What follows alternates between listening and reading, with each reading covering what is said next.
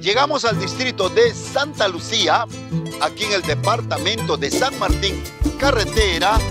Eh, esta zona se va a Uchiza, aquí hay palmas.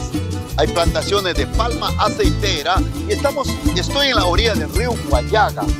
El río Guayaga, mira, abarca desde la sierra, desde Cerro de Pasco.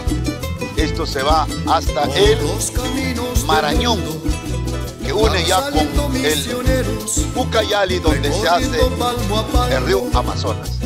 Eh, podemos compartir con ustedes lo que vemos al otro lado. Las embarcaciones, pues aquí se cruzan los vehículos en tremendas embarcaciones que se conocen como cata, pero también vemos un hermoso puente que ya va a ser empalmado. esto, esta construcción que va a ser de mucho apoyo para esta ciudad de Santa Lucía, Uchiza, Huacrachuco, por acá se llega al norte del Perú, Chimbote, Trujillo. Hay una carretera ya hermosa.